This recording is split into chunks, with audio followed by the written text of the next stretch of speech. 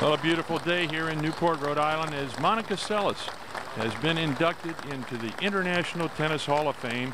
A wonderful moment for this great champion, uh, and obviously getting a standing ovation here uh, at the Bill Talbert Center Court, Newport, Monica, Rhode Island. on behalf of Certainly the uh, a pleasure to be board, with you on a very committee, and all of us at the historic day International Tennis Hall of in tennis. It is my honor and pleasure to give you your certificate, officially installing you as a member of the International Tennis Hall of Fame and Museum. Thank you.